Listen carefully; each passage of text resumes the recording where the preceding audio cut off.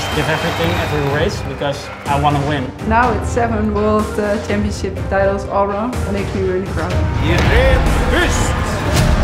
I'm very happy. thankful, everyone. I never experienced that much support. That's what we are training for every day. I'm happy to be back at first place. Yes! Yeah!